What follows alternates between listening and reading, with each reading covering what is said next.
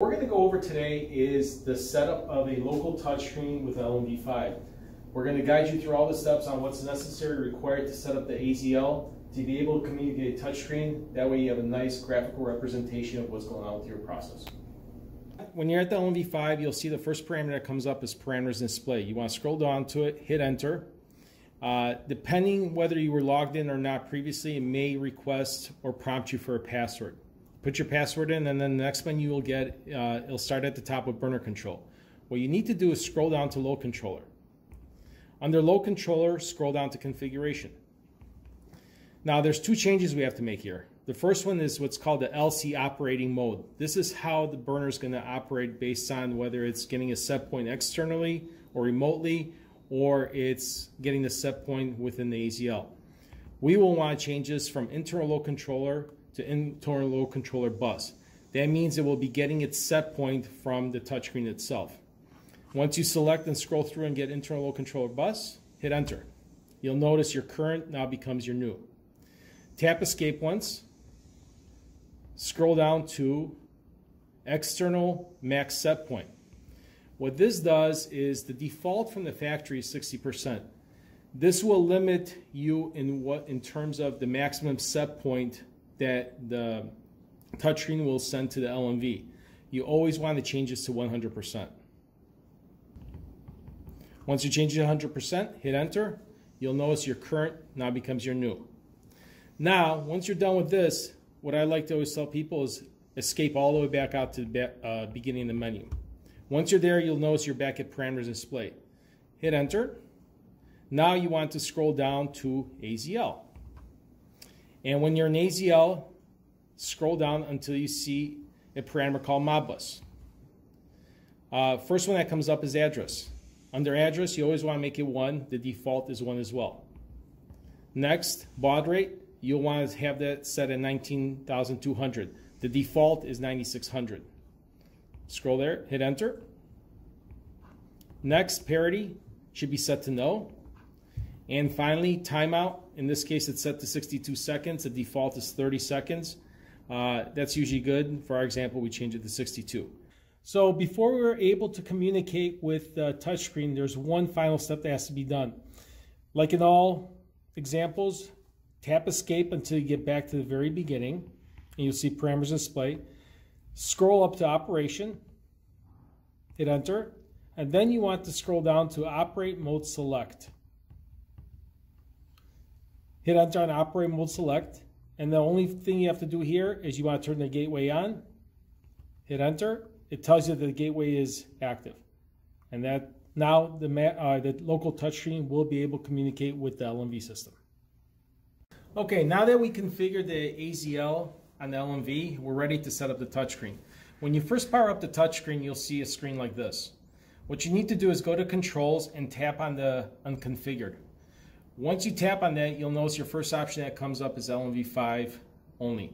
In our case, we are dealing with LMV5, but say you happen to have an LMV3, you continue tapping on that box until you get the right piece of equipment that comes up.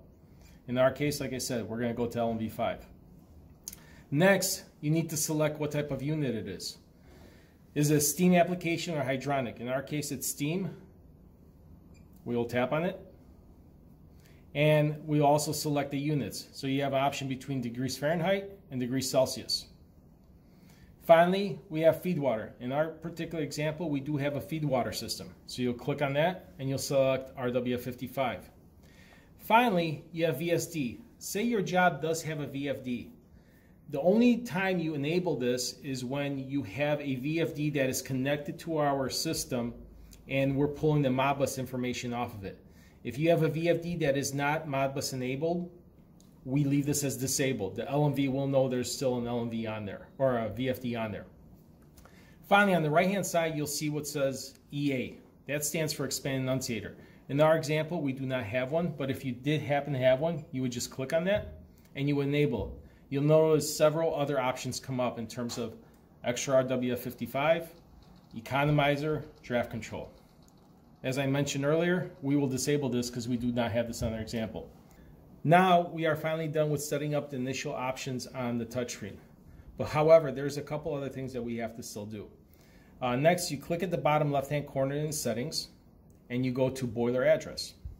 The default setting from the factory will always be boiler number one.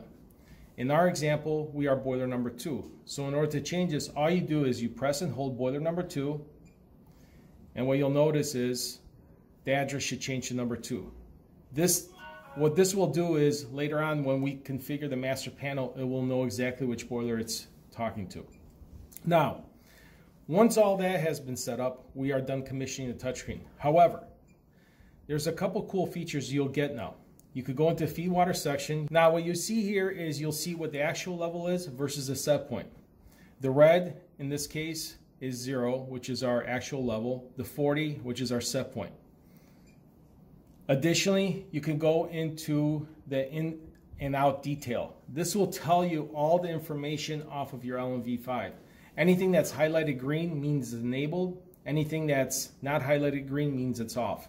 These are all your inputs. So in this case, it's telling us we selected gas, our low gas pressure switch is made, high gas pressure switch is made, safety loop is made, and the low and high oil pressure switches are made.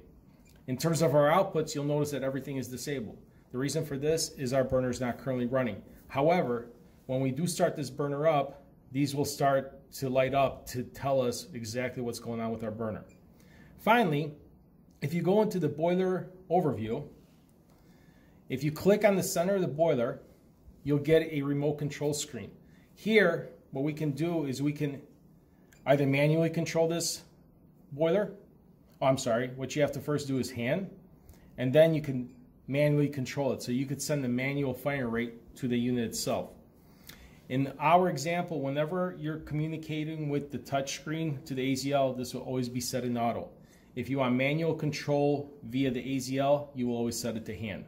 If you want the burner to turn off, just go to off position.